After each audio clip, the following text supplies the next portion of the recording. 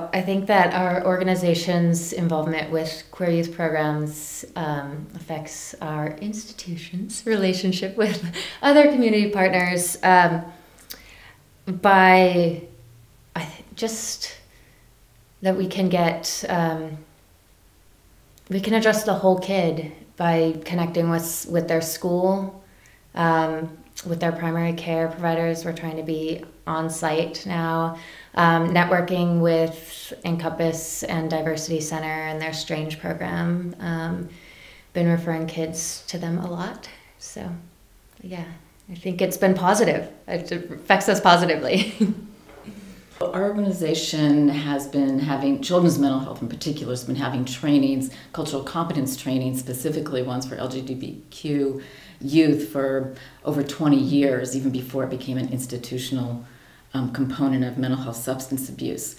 And there was no question that um, it, it was needed and it was important and it was the only way that we could um, provide the level of services that we needed to and quality of services for the kids we were seeing. So additional work that our um, agency can do to create a safer atmosphere for LGBTQ IA youth in the Santa Cruz County, um, some of it's already going on. It's you know uh, signage that's welcoming. It is making sure which might sound a small thing, but that all the charts and medical records and paperwork are done in um, a use preferred gender, um, name, and that phone calls are made, appointment reminders are made again in that same preferred um, gender and name.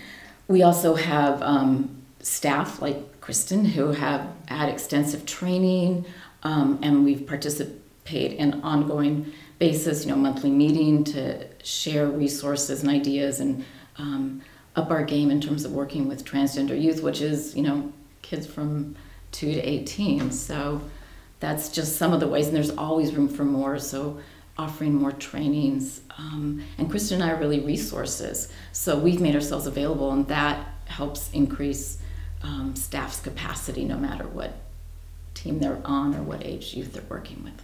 I think I'm going to stick with that Eternal Sunshine of the Spotless Mind.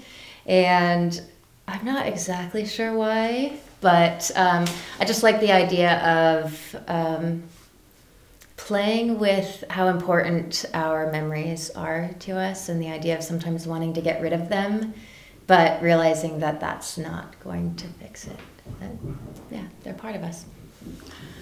And my favorite movie is The Untouchables because it is touching, it's funny, it is about the relationship between two very diverse, different people, um, physically, economically, um, and how they both have so much to learn in their interrelationship and dependence on each other and um, the light they bring into each other's lives.